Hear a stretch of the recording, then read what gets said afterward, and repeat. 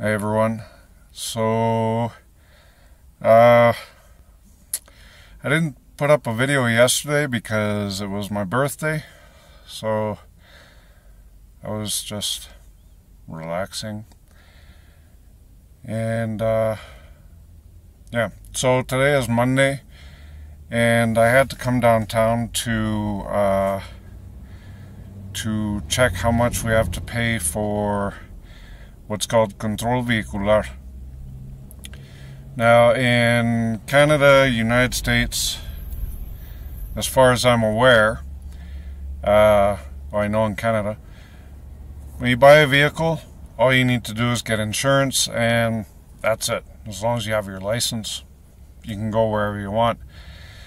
But here in Mexico, uh, insurance is optional and uh, you have to pay what's called, uh, depending on the state you're in, you either have to pay what's called tenencia or control vehicular, basically the same thing. And what it is, is your right to be able to drive your car. It's a pretty big scam, and uh, in my personal opinion, I think they should just uh, get rid of it and force everyone to have insurance. You have to have insurance in order to, uh, in order to circulate. and like in Canada, you get a sticker that shows you're paid until whenever, and uh, that way the cops know. But here in Mexico, you don't have that you don't get a sticker you don't there's really no way. You have your plates and that's it. And uh, so yeah so i got a letter uh, last the week before last that from the government that says that i was overdue on my tenencia and that i have 15 days to pay it so i came down today to check it. And we owe year 2019 and 2020. Oops. And so it's just about 6,000 pesos that we owe, so around, I think around $350 more or less. And uh, yeah, so we got to pay that. Otherwise, we're going to get a, a fine and they could possibly take the vehicle. So. um, something else I wanted to talk about was that uh, I've noticed that since I started doing the, the photos and kind of giving a kind of a tour of the places that we've been to, uh, my views have gone up more or less, but um, the time viewed is basically the time that I talk and then a little bit of showing the pictures and people stop watching. The average is about five minutes. And on my other videos, the average was around 10 to 15 minutes. So, kind of a big difference, and I lost a subscriber. So, I decided that uh, I'm not going to do that anymore. and I apologize for those that watch my videos regularly and um, and maybe we're kind of disappointed. I, I I didn't think about it at the time, but I was probably starting to do what most other channels do about living in Mexico. It's just like a a tourism channel. And that's not really what I am and what I like to do. So um so I'm going to stop doing that. Um, and to be honest, I, I wasn't really something I I was enjoying doing. It was kind of nice to relive the memories and things, but um, uh, I don't know. It's not my my thing. I was doing it more for my viewers, thinking that maybe you guys would like that more rather than just me yapping.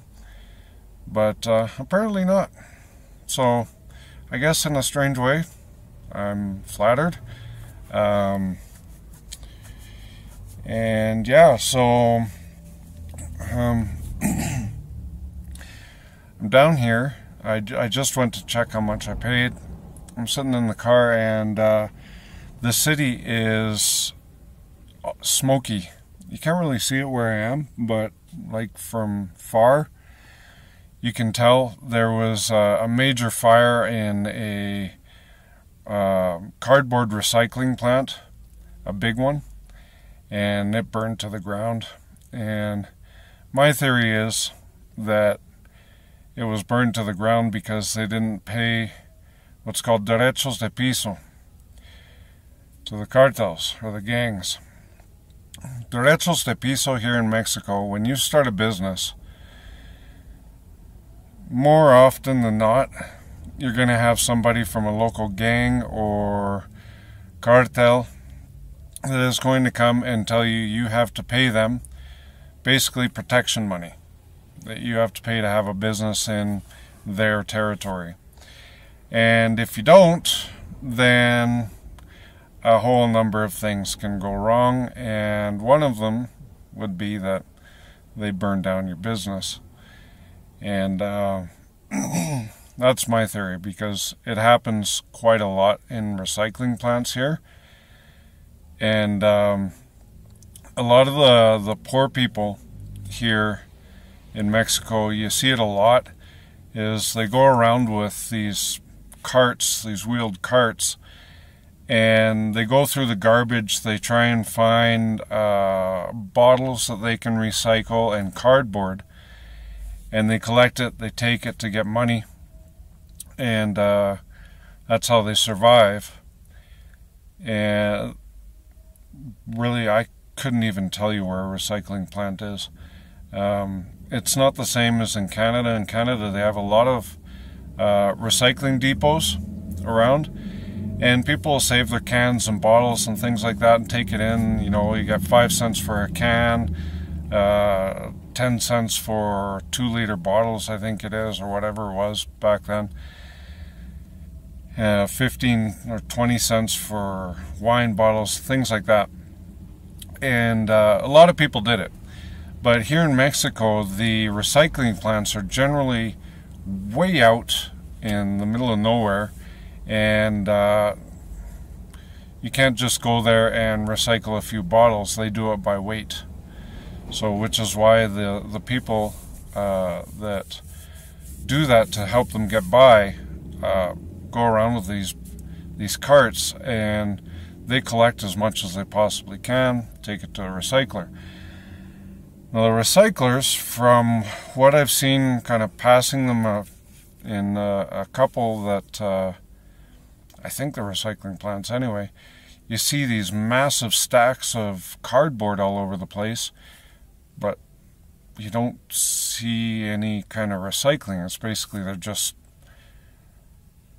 warehousing cardboard. So, yeah, uh, and as you can imagine, somebody drops a match, everything goes up. So really easy to to do. And uh, yeah, so air quality here today isn't that great having to walk around with the mask on and uh, the smell of smoke in the air and really not nice. And uh, for a Monday, the traffic actually isn't that bad. I'm kind of, it always makes me wonder what's going on when the traffic isn't very normal. Um, I don't know, it's just the way my mind works. Um, I want to know the why. But anyway, um, just kind of a, short video this week, uh, a little late. I was really debating on kind of what I'm going to do, where I'm going to go from here on this channel. I don't really know, so if you want to stick around and find out, great. And uh, I don't know. It's uh yeah, it's kind of hard because I mean there there is a ton to talk about, a lot of things that that I could, you know, mention and just give little insights here and there about what it's like to live in Mexico. Um, even if you never plan on coming, just what it's like to live in another country. And um, it's, I don't know. Oh, and the big news, yeah. You've probably heard about it. The number one military guy here in Mexico, Cienfuegos, was caught in Los Angeles and is uh, in jail right now, waiting for trial for, I believe it is money laundering and um, taking bribes from cartels, which was a major blow to the country because this guy was seen as, you know, he was really, really respected. And because of him, as well as kind of the the face of the military, this happening really is a blow to the uh, to the military and how Mexican people see the military and respect them. Generally, in Mexico, there's no respect for police, not state, federal, nothing. But for the military, there's a lot of respect in general. And now with this, uh, it's, I imagine it's fallen quite a fair bit. So, um, yeah, big news there. But anyway, uh, I'm to stop rambling. I'm to head back home. And um, this will be my video for this week. Not very long. Um, and I'm going to spend the week just kind of figuring out what uh, what I'm to do with uh, for videos for you guys. And um, as well, I've been spending a lot of time trying to uh, build up my t-shirt design business, I guess you'd call it, uh, online business. And so it's something I, I really enjoy. I really kind of get focused into it. It helps with my anxiety, kind of gives me something to focus on.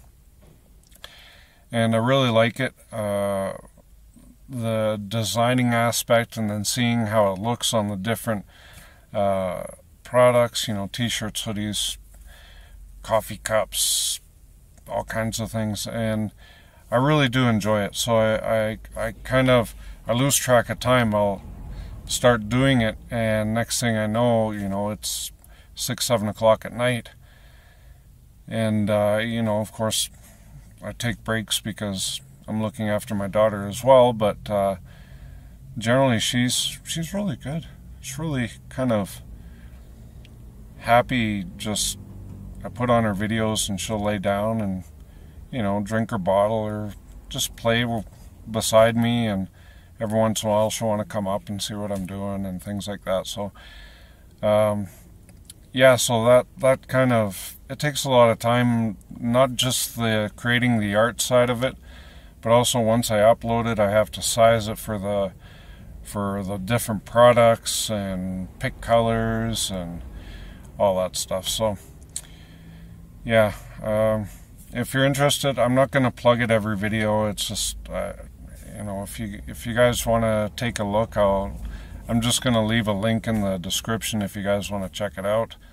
And that's about it. Um, but yeah, so that is the video for this week. Um, I hope you're doing okay, that uh, everyone's happy and healthy and safe at home, mostly, I hope. Um, and I shall see you next week. Take care.